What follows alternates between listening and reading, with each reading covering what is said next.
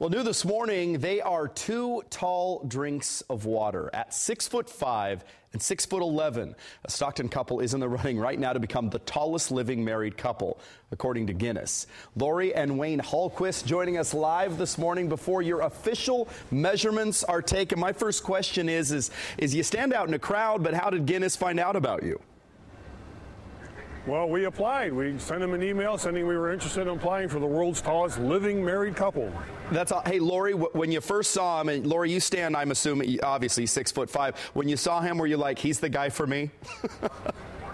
Uh, actually, not. There's a whole story with that, but it took a little while. Okay, and that's okay. Hey, you know what? I want to show exactly how tall you guys are, real quick. I know our own Leticia Ordaz is going to be talking to you a little bit later in our newscast, but Leticia, can you go over there and, and stand next to him? there you go. That is absolutely amazing. So six foot eleven and six foot five.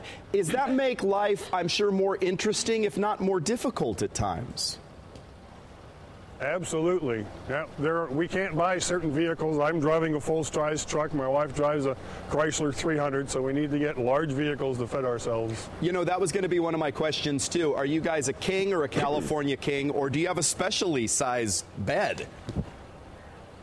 No, California, California King. It's, it's right, that's kind of what I thought. Hey, what do you, what do you think are your odds for for getting the the tallest couple uh, award?